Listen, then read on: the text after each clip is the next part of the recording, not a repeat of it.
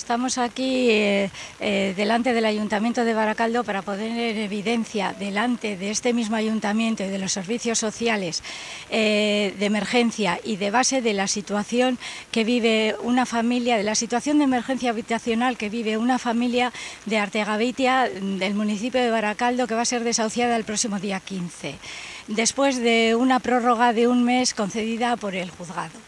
Eh, han pasado varios meses desde mayo que se sabe que esta familia va a ser desahuciada.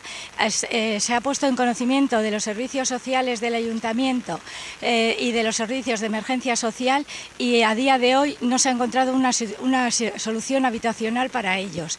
Entonces, los servicios sociales de base y los servicios sociales de emergencia tienen que ser servicios de emergencia. Las emergencias sociales no entienden de vacaciones ni de nada. Eh, esta, este, esta, familia, compuesta por una madre eh, mayor con un hijo, la señora enferma, eh, no puede ir a un albergue municipal.